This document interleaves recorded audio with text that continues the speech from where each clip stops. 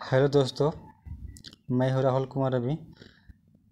इस तरह का क्वेश्चन साधारण ब्याज का, बहुत बड़ा क्वेश्चन जो है इस तरह का एग्ज़ाम में रिपीट होते हैं।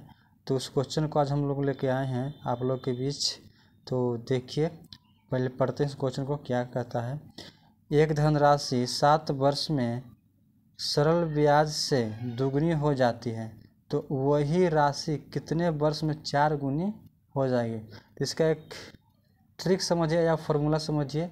इससे सोल्व करने बहुत आसान होता है इसको इसको समझ लें तो। इससे एन वन माइनस वन वट एन टू माइनस वन वट टी बराबर T one minus T two तो इस फार्मूले पे हम लोग इसको सॉल्व करेंगे। तो चलिए एन के मान दिया है टू एन वन का मान दिया है टू माइनस वन वट्टे फिर एन एन थ्री का मान एन टू के मान दिया है।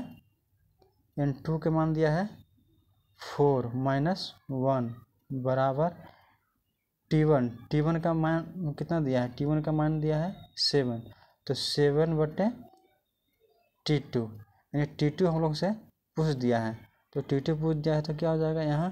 एक में दो में से एक जाएगा तो एक, चार में से एक जाएगा तो तीन, बराबर सात बटे टी टू, यानी तीसरा से गुना हो जाएगा तो टी टू बराबर कितना हो जाएगा? सतिया इक्कीस।